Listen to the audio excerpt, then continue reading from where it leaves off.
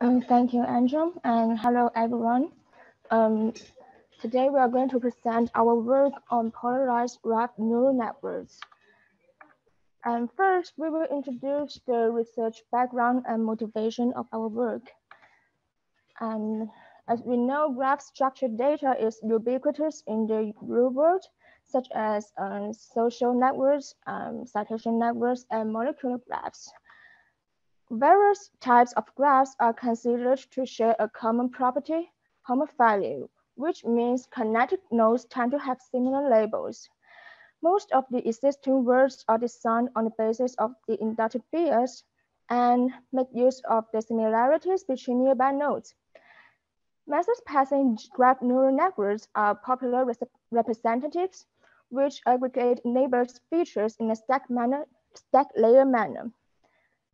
Some theoretical works have shown the equivalence between the message passing mechanism and an optimization, optimization objective to maximize the similarities among adjacent nodes. Although message passing GNNs have empirically been verified powerful on extensive benchmarks, the strong inductive bias of homophily limits the generalization ability for broader scenarios. Uh, for example, for apart from homophilic graphs like citation networks, there are also many graphs in which nodes prefer to form edges with those of other classes. Uh, we call such property heterophily. Typical examples are protein molecular graphs where different types of amino acids are likely to contact. Um, because message passing GNNs assume that uh, most of the neighbors are similar to the central node, they fail to achieve satisfactory performance with heterophily increasing. Issues about heterophily have gained increasing concerns and a substantial number of words address them through either reducing the impacts uh, from dissimilar neighbors when calculating aggregation weights or dropping dissimilar neighbors and then relinking similar nodes. Such methods focus on filtering dissimilar neighbors while paying little attention to the utilization of dissimilarities. When homophilic links are sparse, which is general in the heterophilic situations, these methods may discard too many information and become inefficient and ineffective.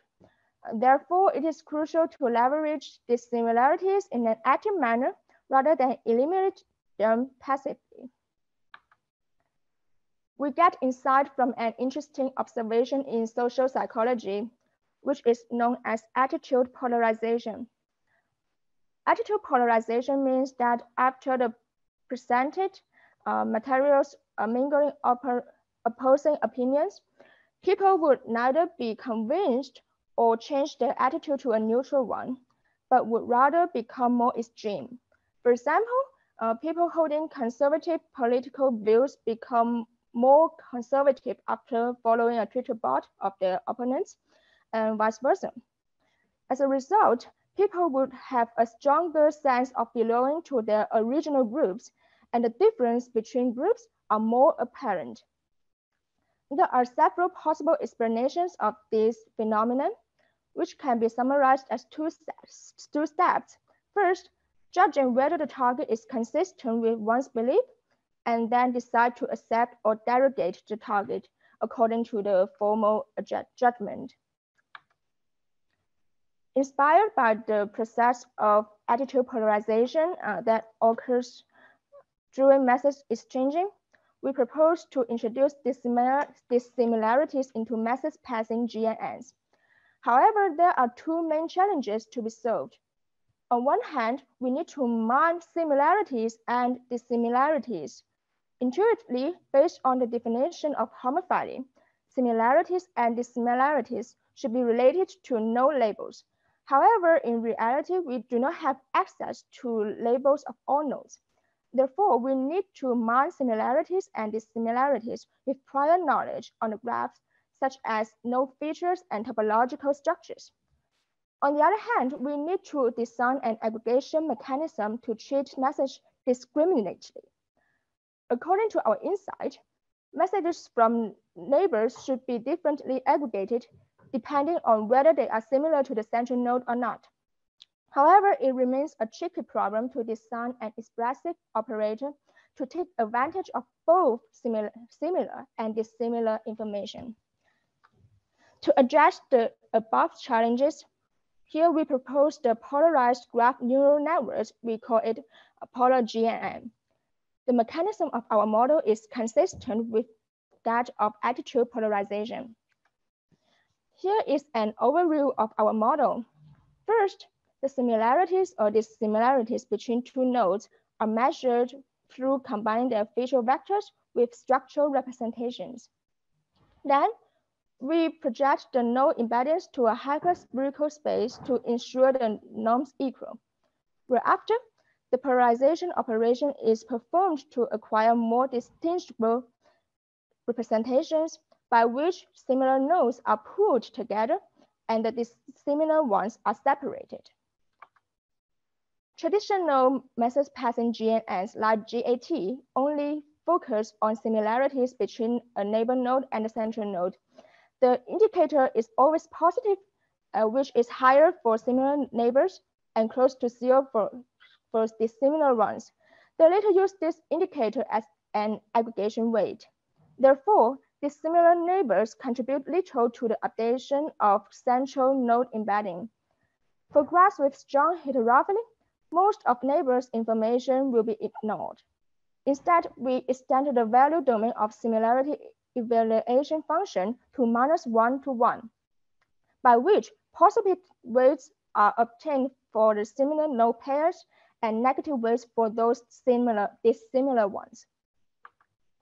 What's more, considering that topological structure features are dispensable in graph data mining, we introduce anonymous walks to characterize structure features for nodes when calculating aggregation weights. An anonymous walk is similar to traditional random walk, but the exact identities of the nodes are removed.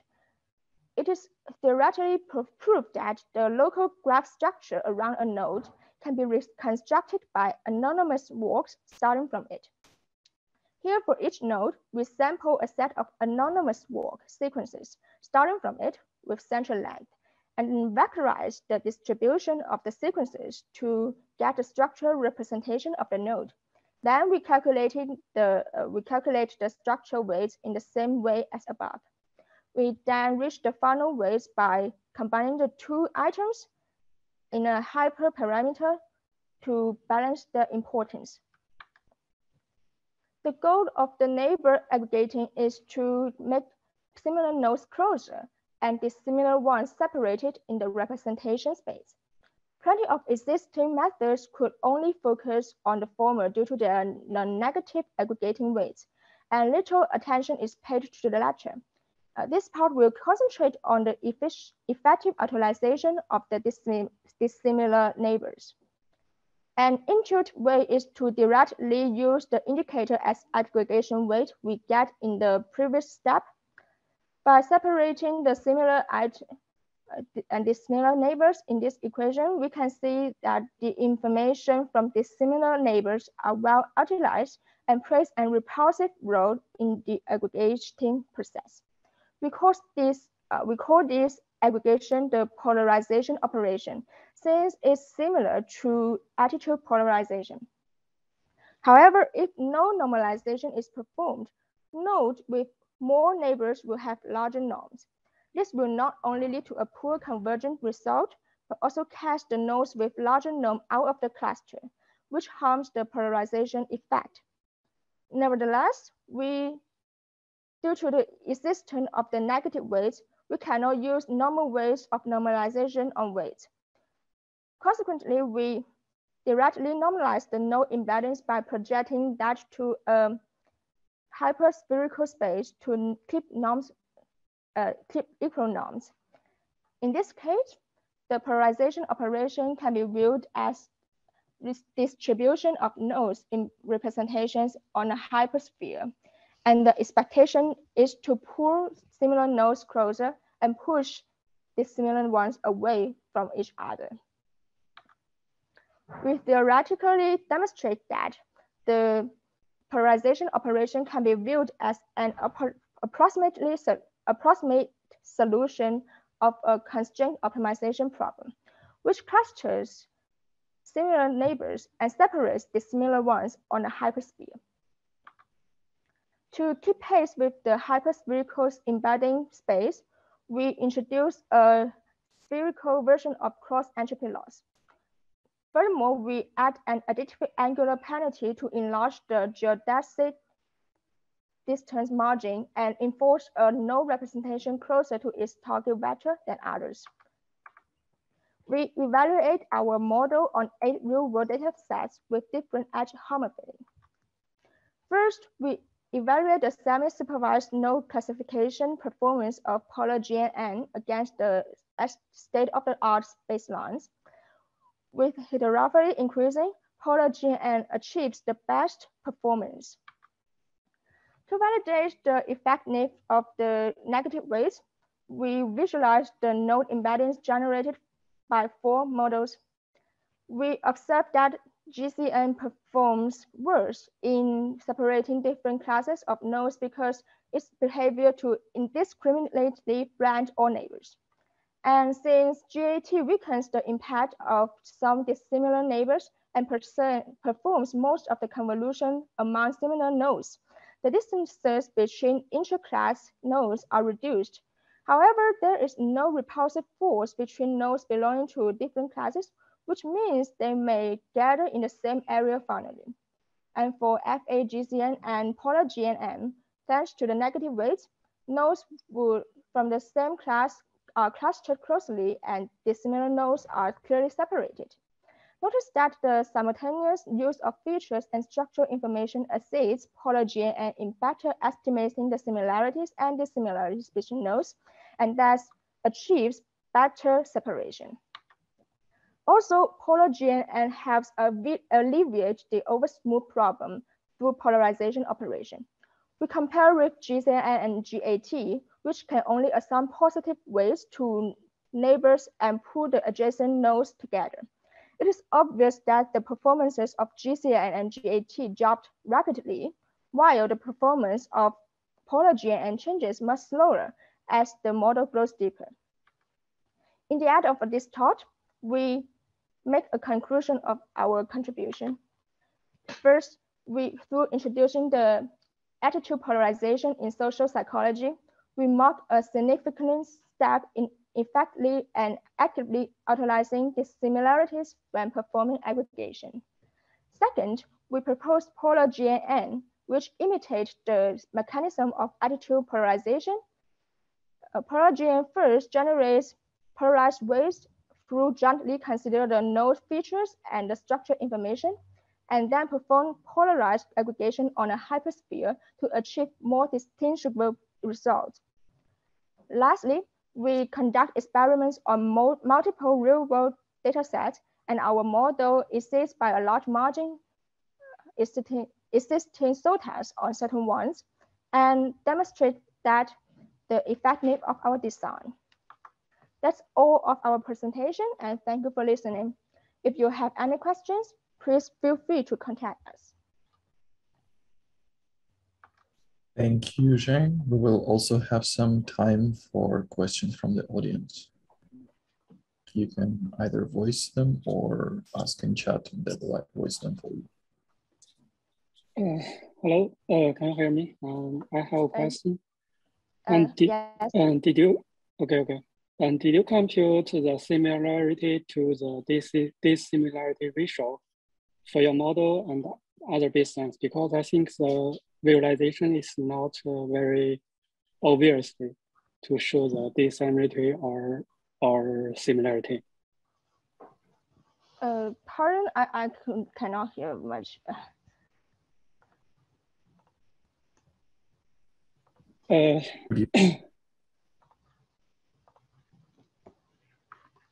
Could you repeat the question, please? Okay, okay. Uh, I say that, uh, did you compute the similarity to this similarities ratio using the using a method?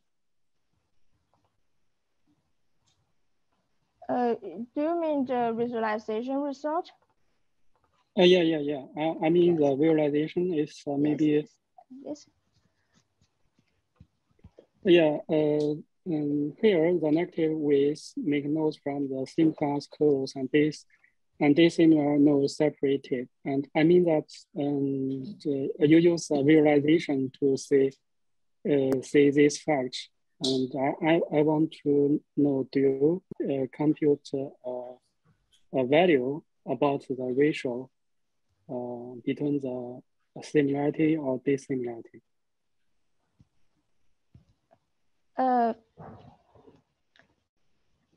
Uh, uh, what do you mean by the ratio? Uh, you mean uh, the uh, the ratio that the neighbors um, nodes that are is dissimilar uh, that are dissimilar to the central node? I mean that uh, for the baseline model, I think the uh, baseline model they can also make nodes from the same class closed and dissimilar nodes separated. So uh, I think your model is more powerful to make this uh, um, uh, the dissimilarity uh, obviously. Uh, yes. Um, in fact, the baseline of GCN and GAT, they, um, although they, they, um, they can somewhat uh, separate, but it is not obvious to separate the nodes from different classes. Uh, here, the heterophily, uh, we, we mean that um, nodes are from different classes are Yes, so it is, um, I think it is more obvious that um, our model can better separate it and cluster the nodes from the same class and separate the nodes from different classes. Okay, okay, thank you, thank you. Mm, thank you. Thank you. Um, if we are able to answer the question really quickly, uh, the second question from the audience is, hello, one question here in slide 20, what does dissimilar nodes means? Nodes that have dissimilar features or from different classes? Uh, yes, um, uh, here we, uh, we define the heterophily from uh, nodes from different classes different classes. However, we do not have access to the known labels, labels. So during training, we do not know which node is from the same class and which node is from different classes. So, so we use the node features and structural information to estimate the, um, the probability of the whether they are from the same class. Yes. Thank you. Um, so the interest of time, any further questions should be directed to the authors directly.